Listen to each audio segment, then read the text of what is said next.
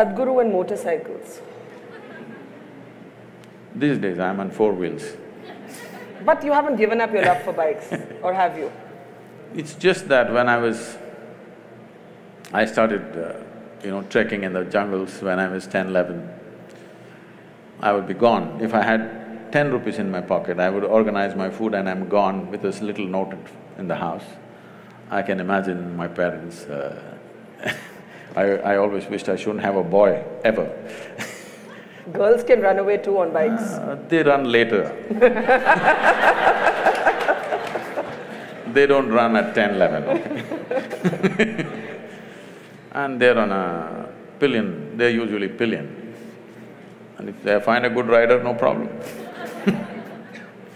I'm saying, the thing was, it's not about motorcycle or this or that, it is just that I was a cloud of million questions all the time. And wherever I looked, nobody had a sensible answer. Everybody has standard answers that they've heard from somewhere. Nobody has a genuine experiential answer. So, there's a restlessness to explore just about anything. When I was 10, 11 years of age, I would be gone into the forest for three, four days. Once food ran out and I couldn't survive there, I would come back. So, initially a lot of excitement, but later on they kind of settled down, they knew I'll get back. So when I became 14, 15, I cycled across South India. Not because I am a cycling enthusiast, not like today, wearing a helmet and suited, booted for cycling, no. Simply I cycled because cycling is little faster than walking. The moment I became seventeen, I still didn't have a license, but I found a motor to my cycle, which became a motorcycle So that because it went little faster. It… it supported my restlessness to know something, I didn't even know what the hell it is. I didn't know what I was looking for, but I had questions about anything I looked at. Everything in the universe looked like a question mark to me. But the…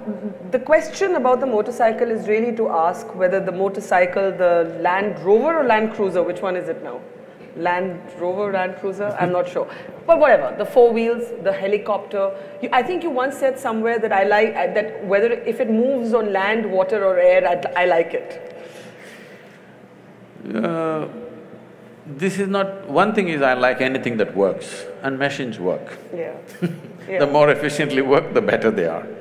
And uh, why it's important is, after all, what is the quality of an individual human being? How smoothly and how efficiently your body, mind and everything functions is the quality of a human being, isn't it? Mm. So machines always excited me, whether it's a bicycle or motorcycle or uh, because of, you know, lack of the necessary, probably the fitness that I was at that time. I crisscrossed India mm. on a motorcycle. Today it would be hard, so you get into something a little more comfortable. But you know, while that makes you a very interesting character to observe, did you ever worry that you'd be labeled or dubbed a Richie Rich person's guru?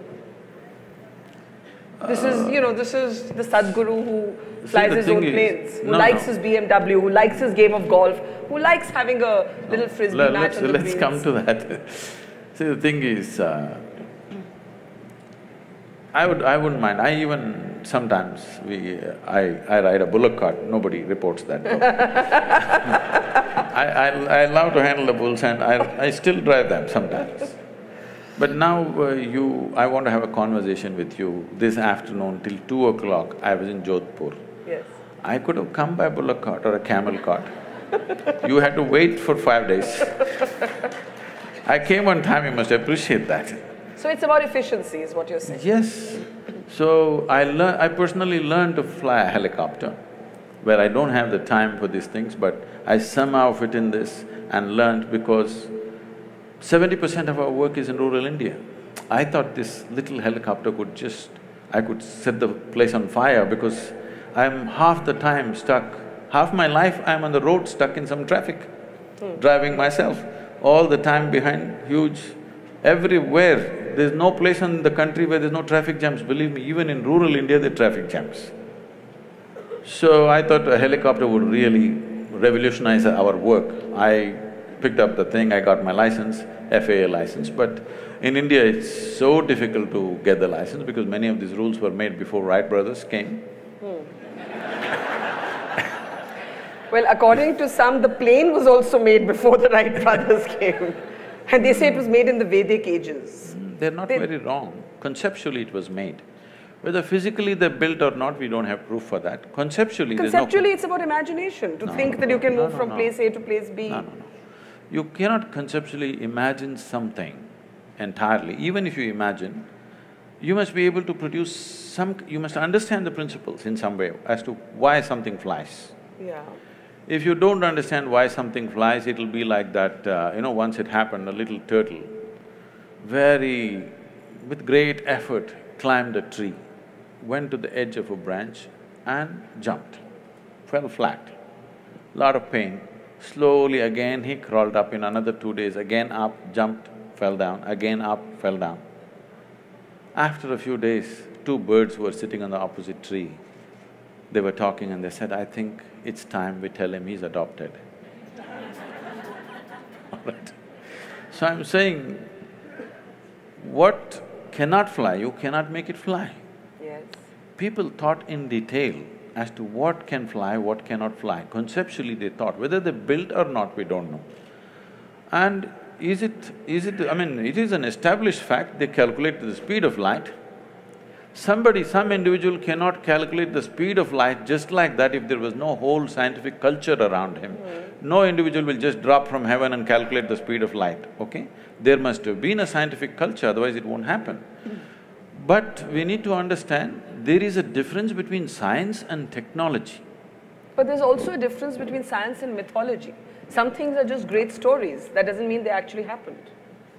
See, for example, there are… there are uh, images or there are uh, sketches which show, which probably somewhere between three to four thousand years ago were made, where it clearly shows a turtle and a round planet sitting on it and going around. Turtle is the best example, best analogy for a planetary movement, because a turtle cannot accelerate. Hmm. Sim, same speed, he just keeps going. So, tur- a round planet on a turtle is the best way to describe how a planet moves around. And the very word for geography in this country is Bhugoal, which means it's a round planet. Hmm. So it is not because of Galileo we know it's a round planet, we have always known. How do we know? We can't know just one scientific fact and not know the other aspects related to it. So this thing about anything Indian beating it down is because one thing is that culture has evolved because half the people, their brains are in Greenwich Mean Time. They've still not gotten out of the nineteen forty-eight, whatever happened. We struggled for independence, we came out, not just to send them out, but to be who we are. So, that problem is still there. And now there are upstarts who claim all kinds of things. There has to be an even balance, not beating down this or pumping it up in an unrealistic way. But you cannot deny Indian mind has thought about things that nobody had thought about in those times. Hmm. There is no question about that. Hmm. But there is a distinction between science and technology. Science can evolve because of certain intelligence. Technology needs material, manifestation. Hmm. Now we are trying to claim technology, which we should not. If we just focus on science, many things will be attributed to India for sure.